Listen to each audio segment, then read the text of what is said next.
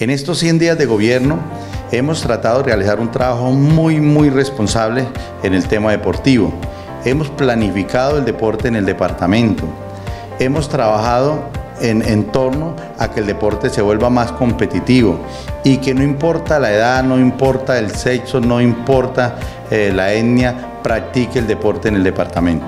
Hoy eh, hemos llegado en estos 100 días y hemos encontrado unos proyectos que, iban en ejecución, el polideportivo eh, del sector de Barrancón, donde pues nuestros indígenas empezaban han empezado eh, a practicar el deporte y ahí podemos llevar nuestros instructores a que ellos empiecen a manejar nuevas alternativas en el tema deportivo.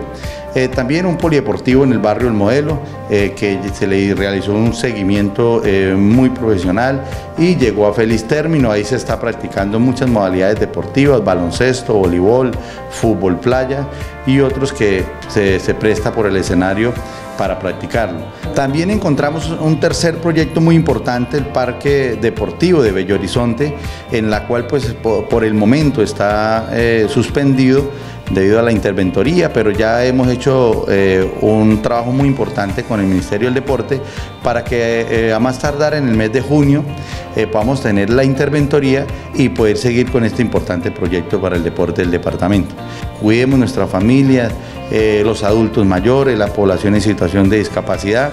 Entonces trabajemos de la mano con ellos y vamos hacia sostener nuestra familia de una manera muy importante.